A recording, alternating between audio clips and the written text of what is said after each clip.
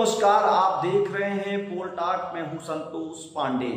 उत्तर प्रदेश की राजधानी लखनऊ में हूँ मैं। इन दिनों लखनऊ में लगातार प्रयास भी जारी है। आपको खबरें दिखाई जाए, उन बातों पर चर्चा हो, जिन पर आप चाहते हैं सुनना और समझना।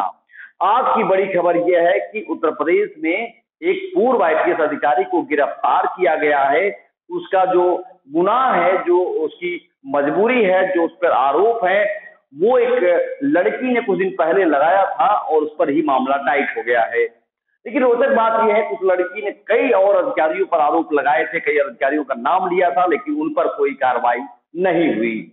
इस बात को यही रखते हैं, सरकार ने क्या किया है उस पर हम चर्चा नहीं करेंगे, लेकिन अमिताभ ठाकुर, जो पूर्व आईपीएस हैं, सरकार से भिड़ गए हैं। उनका कहना था कि जो उनके अधिकारी लगता था कि अमिताभ ठाकुर अगर पुलिस से बाहर जाएँगे तो चीज़ों को ठीक हो जाएँगी। लेकिन अमिताभ ठाकुर ने कहा तो उन्हें अंदाज़ा नहीं है कि अगर वो बाहर जाएँगे तो चीज़ें और ज़्यादा उठेंगी और चीज़ों पर सवाल उठेंगे। अमिताभ ठाकुर की पत्नी जिस तरीके से आज थाने में जाकर के सवाल किया है, वह इस बात को दर्शा रहा है कि अमिताभ ठाकुर पूरी तरह से सरकार से लड़ने के लिए तैयार हैं।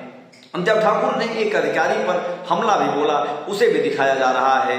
एक तरफ़ मीडिया यह दिखाना चाहती थी अमिताभ ठाकुर के साथ गलत हो रहा है, लेकिन दूसरी तरफ़ मीडिया यह भी दिखाना चाह रही थी कि मीडिया के लोगों को अमिताभ ठाकुर ने समय भले दिया, लेकिन एक पुलिस अधिकारी होते हुए उन्होंने पुलिस वाले पर थप्पड़ जड़ दिया। अमिताभ ठाकुर जिस तरीके भूमिका में सामने आ रहे हैं, माना जा रहा है कि आने वाले दिनों में, अमिताभ ठाकुर सरकार के लिए और मुसीबतें खड़ी कर सकते हैं।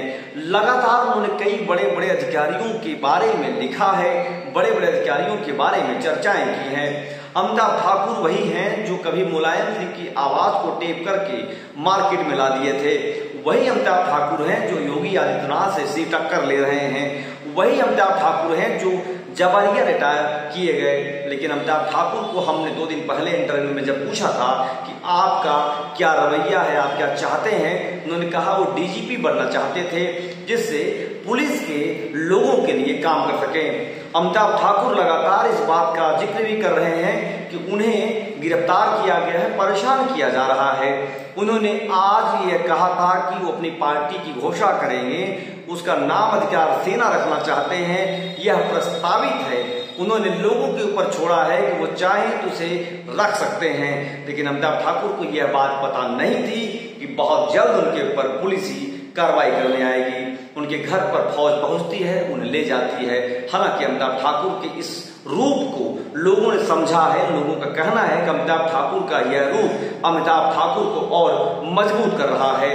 सरकार के साथ साथ विपक्ष भी अमिताभ ठाकुर के सामने है।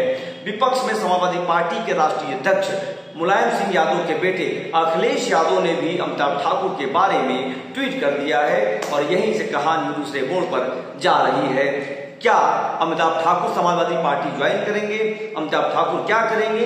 इन तमाम सवालों का जवाब अभी सामने नहीं है, लेकिन लखनऊ से लगातार हमारी रिपोर्ट जारी है। अमिताभ ठाकुर की उन बातों पर चर्चा होती रहेगी, जिसे आपने न देखा है, न सुना है।